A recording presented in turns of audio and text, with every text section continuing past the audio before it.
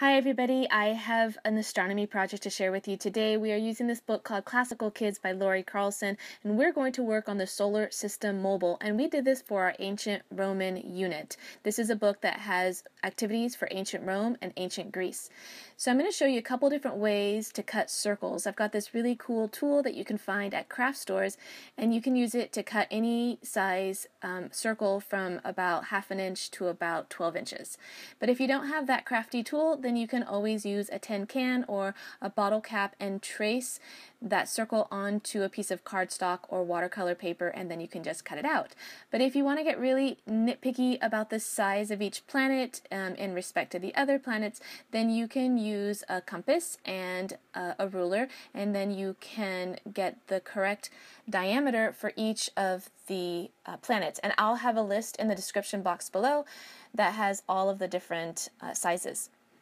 Okay, so my nine-year-old is going to uh, watercolor one set of planets, and then my 13-year-old will will watercolor the other set, and then we're going to glue them together with a string in the middle. So my nine-year-old was just showing you all the different uh, paintbrushes that he's going to use and the different colors of distress inks that he's using to uh, watercolor all of these planets.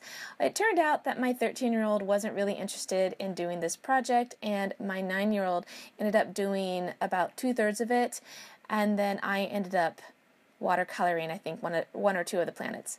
Okay, so here are all the planets um, all dried after being watercolored, and I took them all outside, all the large ones outside, and I used some spray adhesive. I thought it'd be a quick and fast way to adhere these two sides together, but I needed some additional glue, and then I needed some clamps to keep it uh, closed while it dried completely. So the string was kind of a neat idea, but it ended up falling through for Jupiter, but all the other ones it worked really well. Jupiter was just a little bit too heavy. So I'm using my sticker machine here in order to put adhesive on the back of those smaller inner planets, and I'm still using the same string. This is a metallic silver uh, thread. It's very beautiful and I'm just going to assemble these last couple of planets. I needed to do some touch-up coloring on some of them, but other than that, we were just about done. I hung up the whole thing and then I realized that Saturn looked a lot like the sun, and that's because I forgot to do rings. So my kids were already done with this project, so I got to get my hands dirty and work on Saturn's rings. I was using some distress ink. I just quickly um, just rubbed it on rather than um, adding water to it. And once it's up, you know, you can't really tell that much. And of course, I forgot to do the backside, so I went ahead and colored up the backside because this is going to be a hanging mobile. You're going to be able to see both sides, and so both sides needed to be finished off.